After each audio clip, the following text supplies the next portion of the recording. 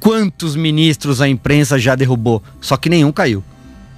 Derrubou já os principais, né? Já demitiu o Moro, já demitiu o Paulo Guedes, já acaba de demitir o Mandetta e todos continuam por lá é, trabalhando. Bom, eu aprendi com o jornalista Walter Fontoura, gostava de repetir essa frase quando dirigia o Jornal do Brasil.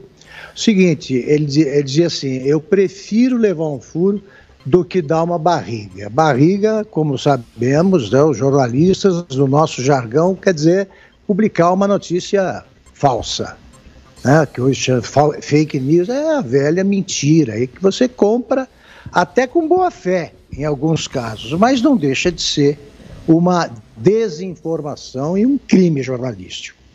Né, no Globo, por exemplo, saiu lá em manchete, né, a Mandetta demitido. Depois é, a correção é mais engraçada ainda. É, Bolsonaro demite Mandetta, mas volta atrás. Olha só. É o seguinte, se chama também ejaculação precoce, né? É a pressa.